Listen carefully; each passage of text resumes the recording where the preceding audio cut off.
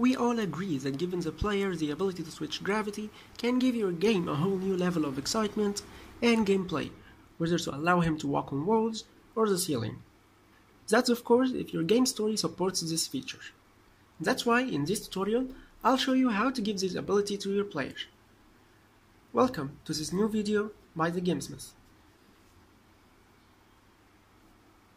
Now I have a simple scene of only the player trapped in this room and he has only the ability to move left and right. All the components we'll use in this tutorial are the same as those we used in the movement, which are the collider, the rigid body 2D, and the control script. So we won't need to add anything else. So now head directly to the script, open it in Visual Studio, and let's do some coding. When it's open, head to the update function and add small code to tweak gravity, which will be an if statement to check that the game is getting an input from the player. So type if and between two brackets input dot get key down then key code dot space. So now we set our input to be the space key in the keyboard. And inside this if statement type me which is rigid body reference dot gravity scale multiply equal negative 1. So that will change the sign of the gravity or the direction from positive to negative whenever the player presses the space key. And now it's done. Yeah, it's that simple.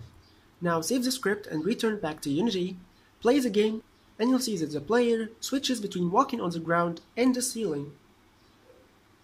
However, his looking direction is completely messed up.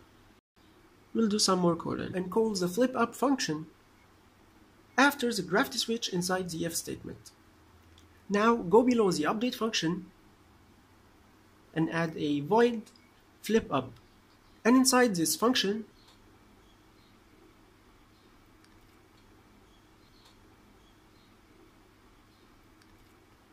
define a vector 3 called scalar up and set it to equal transform dot local scale. Then we multiply the scalar up dot z by negative 1 which will be scalar up dot z multiply equal negative 1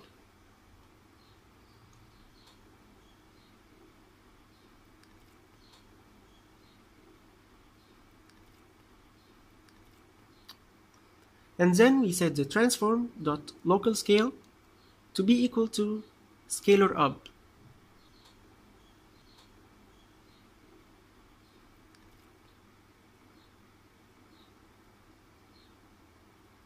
Now you'll find that everything works perfectly. Okay, so that was for switching the gravity between the ground and the ceiling. But what if you want to add the gravity to the walls? To do so, go ahead to Edit, then Project Settings. After that, in Physics 2D, you'll find the field for gravity. This field takes a value for the x-axis and the y-axis. However, this is permanent and cannot be changed during the gameplay. Then, how to fix this? We'll do some more coding. And start by removing the code we just added and replace it with four if statements. The first of which is an if input.getKeyDown down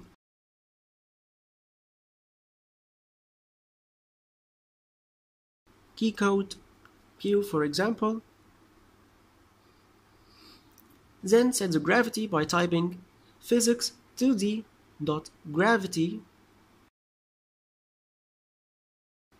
to be equal to a new vector 2 and between the brackets add the value you want for the x-axis and the y-axis.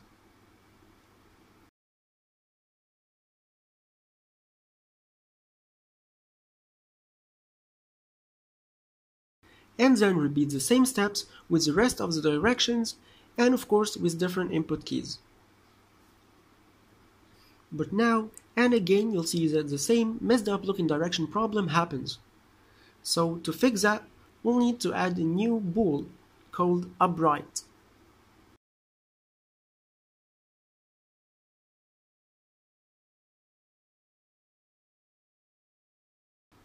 And then in the start function, we set it to true.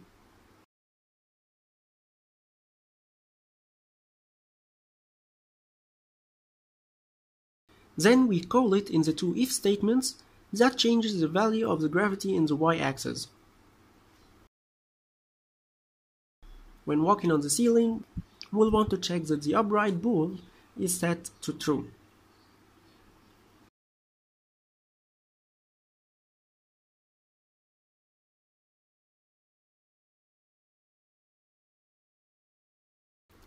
Consequently, for walking on the ground, in spite of being if input.getKey down and then the key code you chose, we'll want to also check for the upright bool to be false.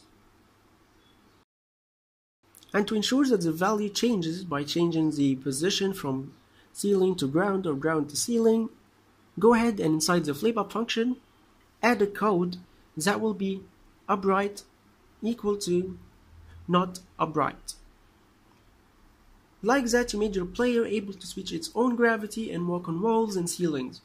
And by that, I'll mark the end of this video, so if you learned something new today, give this video a thumb up, share it with your friends, and if you have any questions, don't hesitate to leave them in the comment section below, and of course, don't forget to subscribe to the channel if you haven't already. This is the Game Smith, and as usual, see you in the next one.